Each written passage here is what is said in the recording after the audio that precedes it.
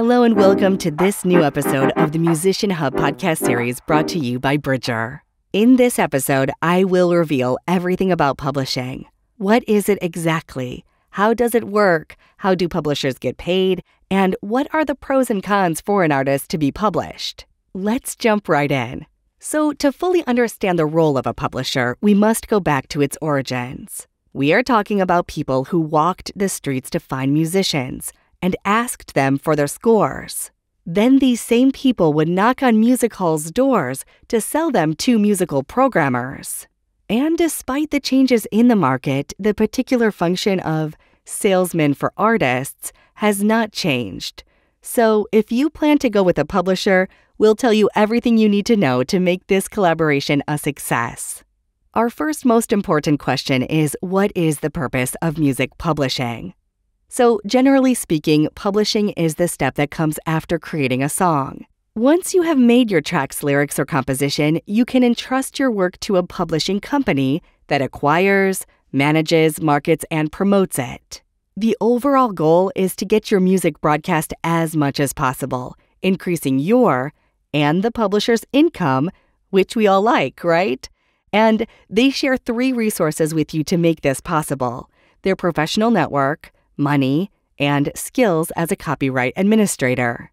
Let's dive into these three resources further. So, to start the professional network, the first significant benefit when you are starting is that the publishing serves as a way for you to insert yourself into the industry.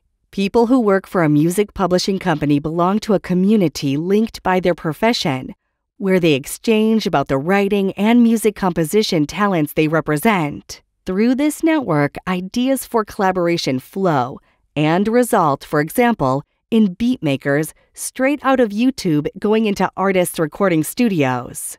The second resource is financing. Because you are the first owner of your work as a songwriter, your publisher is your first investor.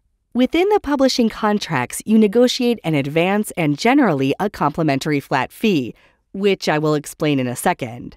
Usually, if you are also a performer, the label comes in after the publishing job.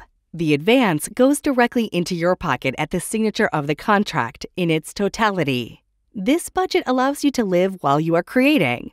You will have to repay your publishing company during the agreement with the money generated from your tracks.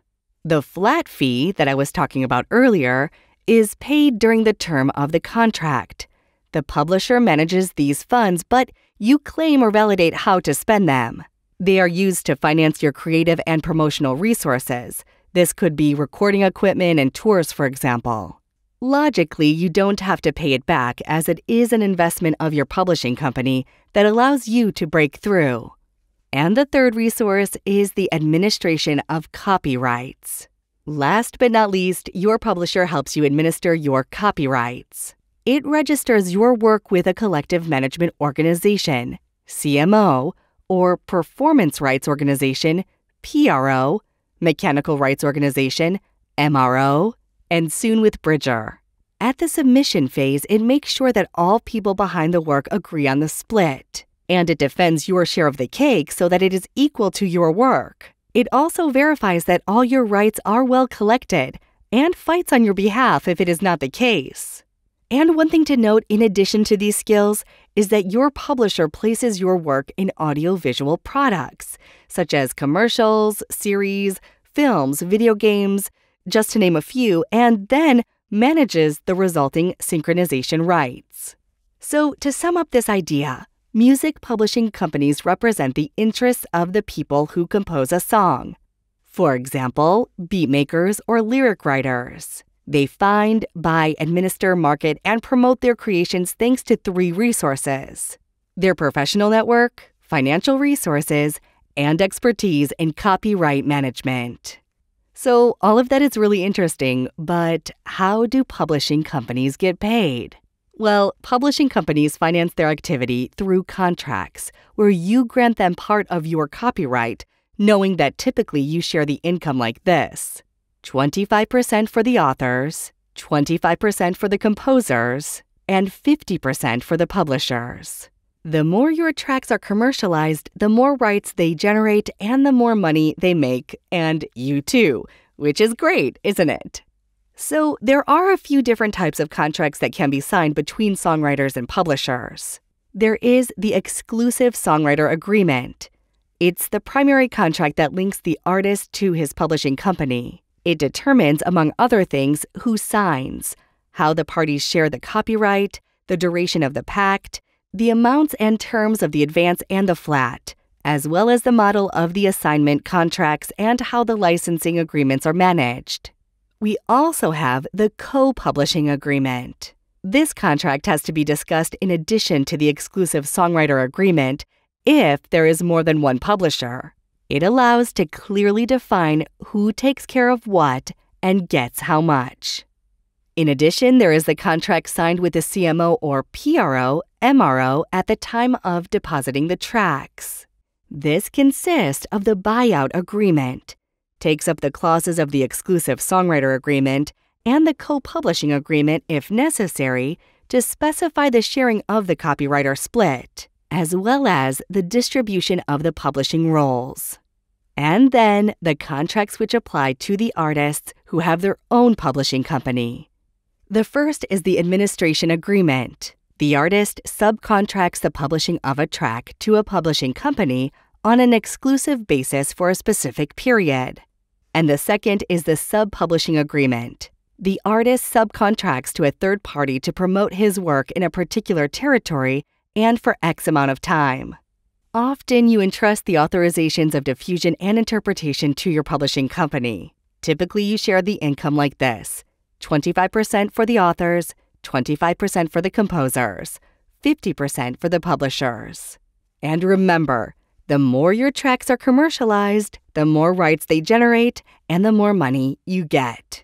So, the million dollar question is how to get published.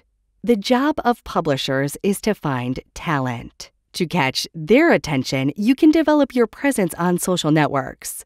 Since the pandemic, the pros have been monitoring them more and more due to the lack of concerts.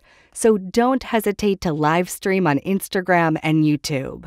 Don't forget that your online presence goes through neat profiles. You can also participate in venues, festivals, and open stages dedicated to new talent.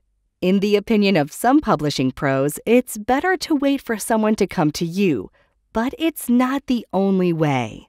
There is, for example, the suitable old method of sitting down in their offices with your demo in hand. This technique can work, but it's better to have a solid fan base before doing this in order to reassure the people you are soliciting. Alternatively, you can use platforms to get in touch with professionals, including publishers. For example, Groover's goal is to share your tracks with them in exchange for their advice at any time in your career. One last tip you will work closely with your publishing company. This collaboration is crucial in your career because it's the first one. The important thing is that you feel comfortable about it. It may sound banal, but good vibes count, right? So remember, to get published, you need to work on your online presence with neat profiles and an activity representing your artistic DNA. Open stages and contests for new talent your network through networking sites like Groover or by knocking on the doors of publishing companies' offices. Well, now you're an expert on the publishing topic. But before we end this episode, here is a quick recap of what you need to remember. Publishing comes after the creation of a song. Once you have created the lyrics or the composition of your track, you can entrust your work to a publishing company. Its objective is to broadcast your music as much as possible thus increasing your income and theirs. Its three resources to achieve this are its professional network, financing capacities, and expertise in copyright. Thanks so much for listening to the Musician Hub podcast series by Bridger. Remember to stay up to date with our latest news and receive a notification every single time a new podcast episode is out. You just need to follow us on your favorite podcast player and on social media. Thanks so much, and talk to you soon.